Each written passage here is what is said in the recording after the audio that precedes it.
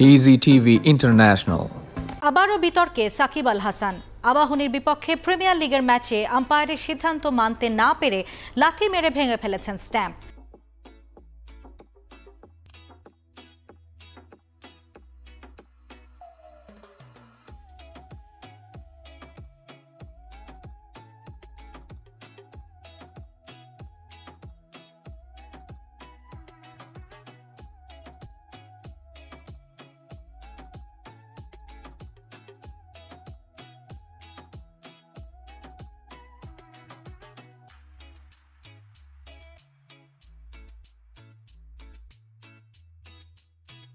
Easy TV International.